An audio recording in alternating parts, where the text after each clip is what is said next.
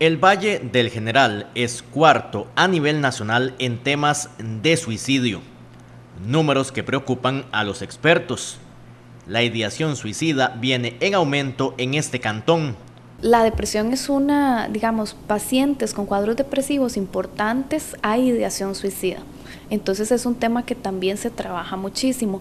Em, ahorita eh, las estadísticas de suicidio levemente han disminuido, sin embargo, las estadísticas de ideación suicida han aumentado. Entonces, eh, los servicios de salud están realmente colapsados por temas de eh, salud mental.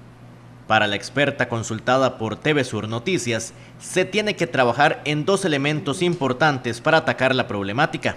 Se debe trabajar a nivel cultural en la parte de prevención, que es lo que nos está haciendo falta, porque sí está ya la parte de abordaje en crisis, pero podemos prevenir eh, y que la gente entienda que la salud mental es tan importante como la salud física y que así como vamos a consultar por un dolor de cabeza, tenemos que consultar cuando no nos estamos sintiendo bien, cuando nos sentimos... Eh, sin energía, cuando nos sentimos tristes la mayor parte del tiempo, cuando tenemos pensamientos eh, que nos generan malestar, hay que consultar. Y es que la ideación aumenta cada vez más de la mano de pensamientos que vienen atacando desde jóvenes hasta adultos.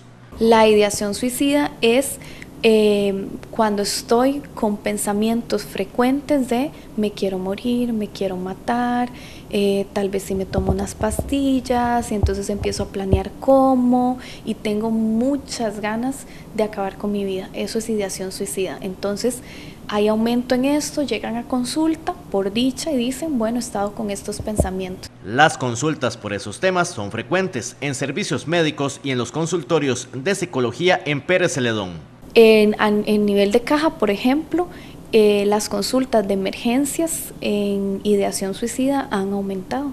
En el cuarto lugar a nivel cantonal de todo el país.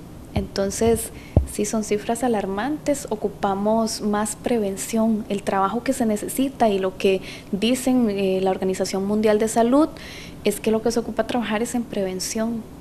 Una realidad que vive este cantón.